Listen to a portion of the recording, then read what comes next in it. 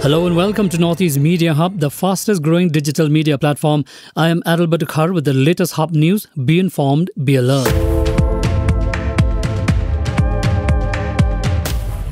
The Anti-Narcotics Task Force ANTF of West Khasi Hills Police arrested two drug peddlers while intercepting a vehicle on Friday morning and recovered 7 grams of heroin.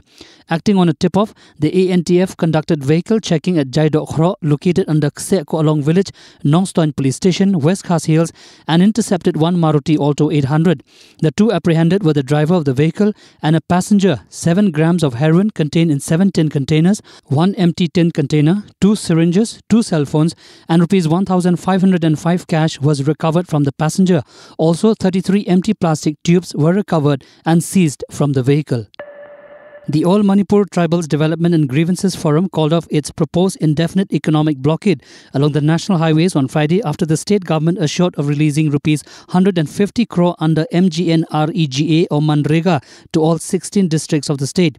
In a statement issued by Forum Vice President Set Khosat Kipgen, it stated that the All Manipur Tribals Development and Grievances Forum called off the indefinite blockade along National Highway 2, Dimapur Imphal, and National Highway 37, Jiribam Imphal, as the government of Manipur had assured of releasing rupees 150 crores under Manrega to all 16 districts of Manipur and the remaining balance on the phase-wise basis within January 2023 without any delay.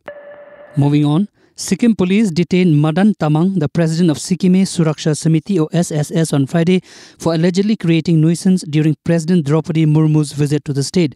According to police sources, Tamang was detained by the police after suspecting him of creating disturbance during Murmu's visit. He was detained at the convoy ground in Daragao, Tadong, away from his usual protest spot at the district administration center in Siche. He is being detained at the Tadong police outpost.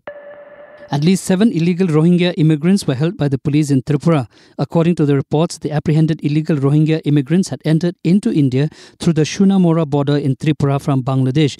They were held by the Tripura police at a check gate along the Agartala Assam highway. The arrested illegal Rohingya immigrants also include three women. They were planning to travel to Bangalore with fake Indian documents.